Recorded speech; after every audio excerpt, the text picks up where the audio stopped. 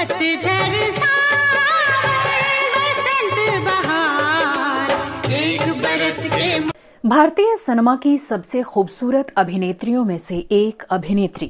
प्यार हमारा अमर रहेगा याद करे। जो संगीत और नृत्य में प्रशिक्षित और पारंगत थीं और सौंदर्य अभिनय का अनूठा मेल थी। गोरी है कलाइया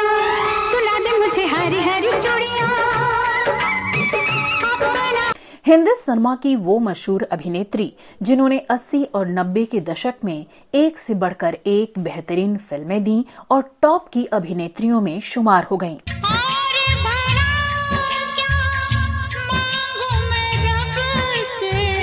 लेकिन क्या आप जानते हैं कि फिल्मी पटकथा की तरह इस अभिनेत्री की असल ज़िंदगी भी रोमांस एक्शन और ड्रामा से भरपूर रही? अरे पागल अक्ल है क्या तुझे? तेरे भैया घर आए थे और मुझे सिनेमा ले जाने की जिद कर रहे थे। उन्हें टाल कर आई क्या आपको पता है कि अपने दौर की सुपरस्टार अभिनेत्री श्रीदेवी के साथ कड़ी प्रतिस्पर्धा होने के बावजूद इन्होंने उनके साथ दर्जनों फ़िल्मों में काम किया लेकिन कई साल दोनों में बातचीत बंद रही थी। हज़ारों फन आओ भरते हुंकारे कंठ शंकर का छोड़ो रे। और क्या आप यकीन करेंगे कि इन्होंने एक शादीशुदा तीन बच्चों के पिता, फ़िल्म डायरेक्टर से शादी की और पूरी इंडस्ट्री में मज़ाक का पात्र बन गईं, क्योंकि इनके पति ने इनसे शादी के बाद भी अपनी पहली पत्नी से रिश्ता कायम रखा और उनसे भी बच्चे पैदा करते रहे। आपको अपने बच्चे का वास्ता देती हूँ। बस कीजिए। बस कीजिए। तो क्यों इस अभिनेत्री की पर्सनल लाइफ हमेशा विवादों का शिकार रही? जब ये राजनीति में आई तो भी विवादों ने इनका पीछा नहीं छोड़ा और इन्हें नेताओं की अभद्र टिप्पणियों का निशाना बनना पड़ा। मैं सत्रह दिन में पहचान गया कि इनके नीचे का जो अंडरवेयर है वो खाकी रंग का है। ये जानी मानी अभिनेत्री अब कहाँ हैं और आज किस हाल में ये ज़िंदगी गुजार रही हैं? बताएँगे और भी बहुत कुछ। आप बने रहिए हमारे साथ।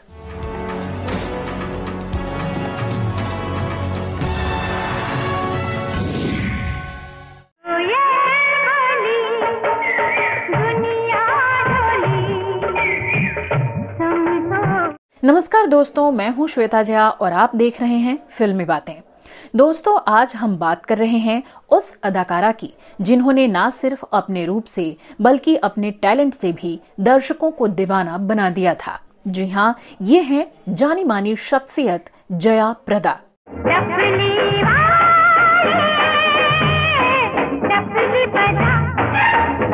Legendary film maker Satyajit Ray Jayaprada के सौंदर्य और अभिनय से इतने अधिक प्रभावित थे कि उन्होंने जयाप्रदा को विश्व की सुंदरतम महिलाओं में से एक माना था।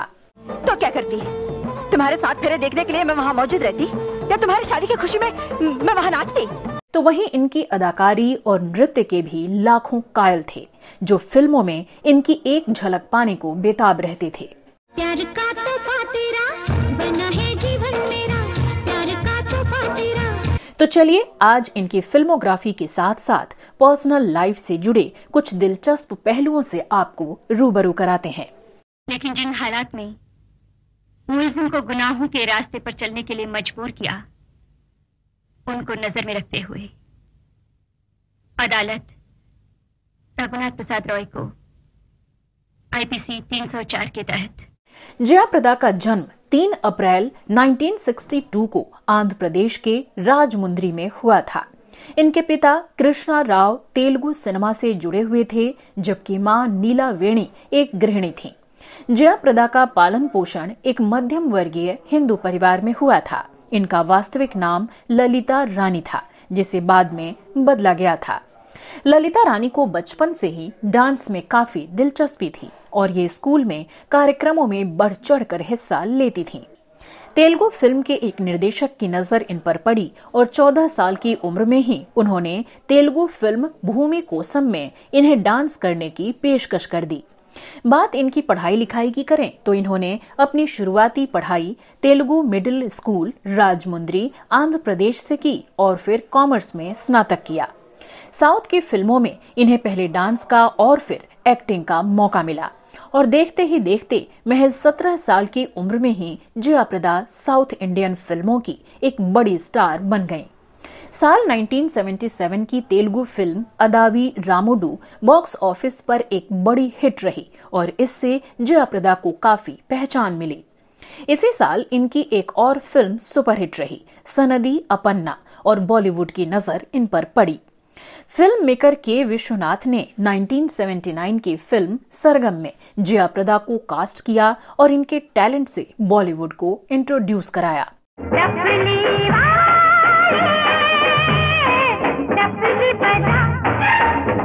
शुरुआती दिनों में इन्हें हिंदी बोलने में काफ़ी दिक्कत हुआ करती थी जिसके चलते इन्होंने हिंदी भाषा सीखना शुरू किया और इस पर काफ़ी मेहनत की।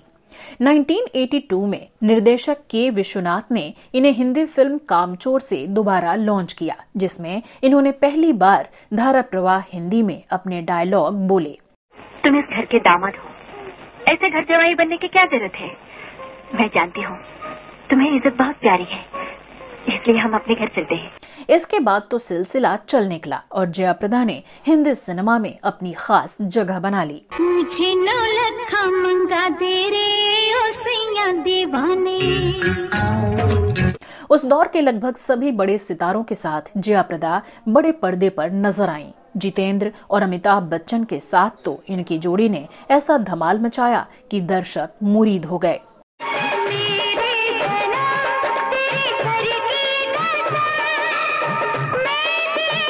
इसके अलावा जया प्रदा ने कमल हसन, मोहनलाल, रजनीकांत और मिथुन चक्रवर्ती जैसे बड़े अभिनेताओं के साथ भी काम किया और बेहद सफल रहीं।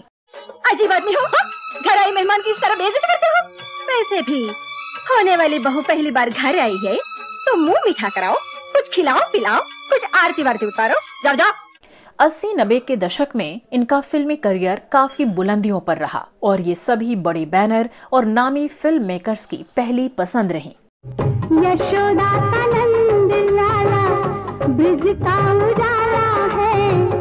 जया प्रदा ने अपने करियर में 200 से भी ज़्यादा फ़िल्मों में अभिनय किया और खुद को साउथ फ़िल्मों के साथ साथ हिंदी सिनेमा में भी बड़ा नाम बना लिया।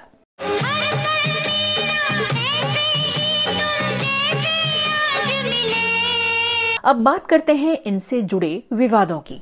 बॉलीवुड में अक्सर ही दो एक्ट्रेसेस के बीच की तकरार के किस्से सुनने को मिलते रहते हैं।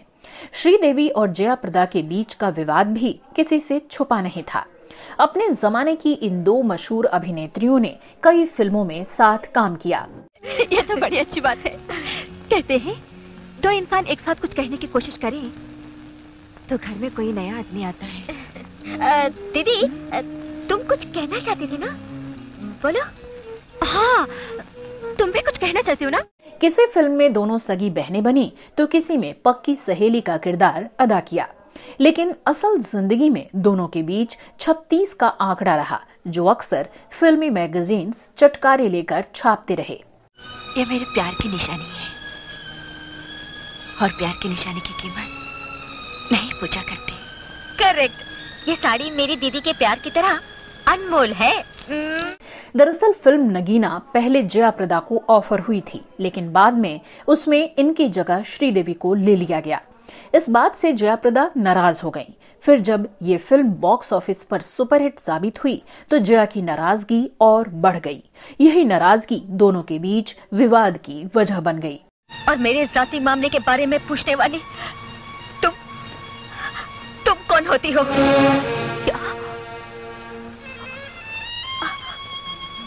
क्या कहा तुम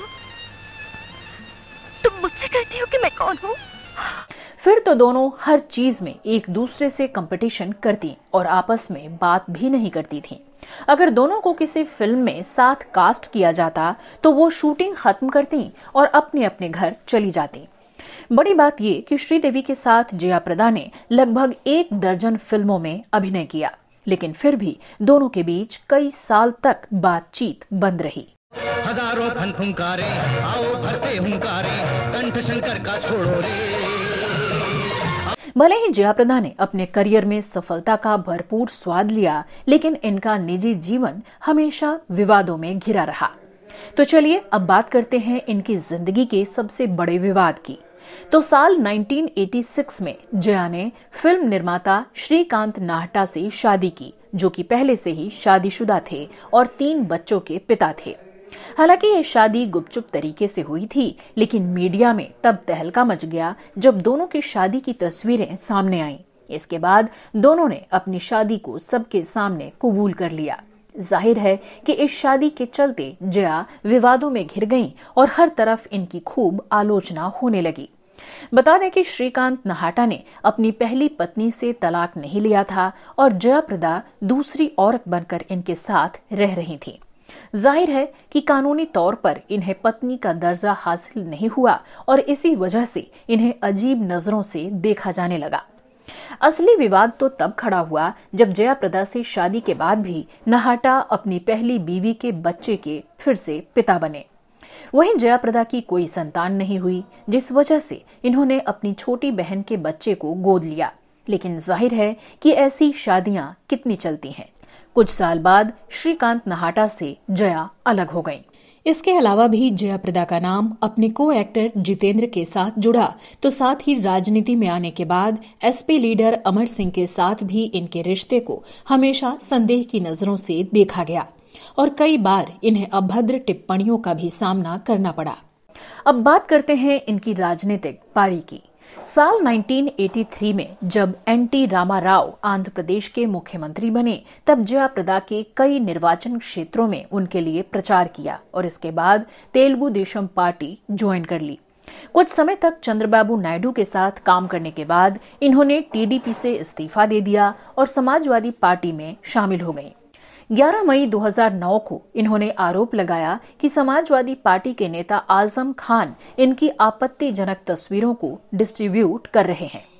लंबे चले विवाद के बाद साल 2010 में इन्हें अमर सिंह के साथ पार्टी से निकाल दिया गया।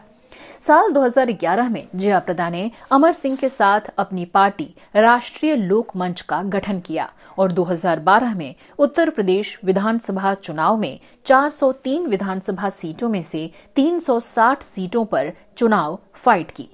लेकिन अफसोस, पार्टी एक भी सीट जीत नहीं पाई। साल 2014 में इन्होंने राष्ट्रीय लोकदल पार्टी ज्वाइन कर ली और बिजनौर सीट से लोकसभा चुनाव लड़ी। लेकिन इन्हें इस चुनाव में भी हार का सामना करना पड़ा। इसके बाद एक बड़ा बदलाव हुआ और 26 मार्च 2019 को जया प्रदा बीजेपी में शामिल हो गईं और आज़म खान के खिलाफ उत्तर प्रदेश के रामपुर से लोकसभा चुनाव लड़ी। लेकिन बीजेपी की लहर के बावजूद इस बार भी इन्हें हार का सामना करना पड़ा।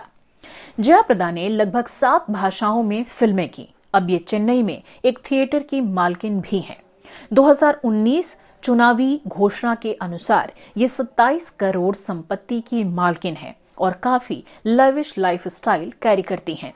फ़िलहाल, जया प्रदा के पास कई महँगी गाड़ियाँ हैं, जिनमें Mercedes Benz Ford Ikon Xylo Mahindra Outlander और फोर्ड एंडेवर शामिल हैं।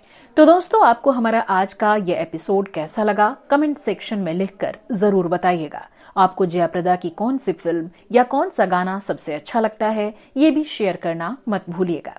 इसी तरह के कुछ और किस्से कहानियों को जानने के लिए आप हमारे दूसरे चैनल ड्रामा सीरीज़ इंडियन और वो पुराने दिन को भी देख सकते हैं, जिसका लिंक आपको डिस्क्रिप्शन में मिल जाएगा। और यूट्यूब के थैंक्स बटन के ज़रिए आप हमारे काम को सपोर्ट भी कर सकते हैं। तो चलिए फिल्मी दुनिया के ऐसे ही कुछ और रोचक किस्से कहानियों के साथ अगले एपिसोड में आपसे फिर होगी मुलाकात। फ़िलहाल मुझे दीजिए इजाज़त नमस्कार।